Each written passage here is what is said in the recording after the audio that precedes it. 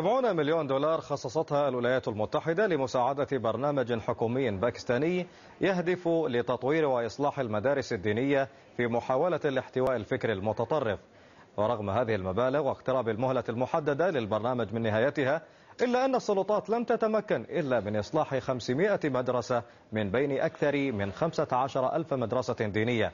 الحكومة الباكستانية ورغم ذلك تعتبر هذا الرقم المتواضع نجاحا. بكر عطياني والتفاصيل. أقل من سنة أمام الحكومة الباكستانية للانتهاء من مشروع إعادة تأهيل وتطوير المدارس الدينية. 500 مدرسة فقط نجحت الحكومة في إقناعها من 15 ألف مدرسة في باكستان على مدى الأعوام الستة الماضية. مع ذلك فإن الحكومة تعتقد أنها نجحت في مهمتها.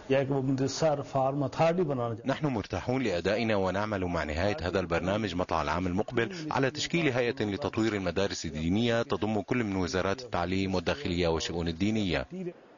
أكثر من مليوني طالب منتظمون في هذه المدارس الدينية حيث التعليم والمأوى والطعام والكتاب مجانا. ما يجعلها أكبر جهة خيرية. في بلد يصل عدد من هم ما دون خط الفقر فيه إلى 73% من عدد السكان. الحكومة غير جادة في مشروعها هذا. الشخص الذي عين لمتابعة البرنامج لم يتصل إلا بعد ثلاث سنوات. الحكومة تسعى لجمع المال فقط لكنها لا تقوم بأي شيء. مصير مشروع السبعين مليون دولار التي كانت قد خصصتها الولايات المتحدة لتطوير هذه المدارس الدينية حتى العام 2010 بات مجهولا. فلم تتمكن الحكومة الباكستانية من الوصول إلا إلى أقل من 4% من المدارس الدينية فيما ازداد عدد المنتظمين في هذه المدارس الدينية بنسبة 8% فشل واضح آل إليه هذا المشروع.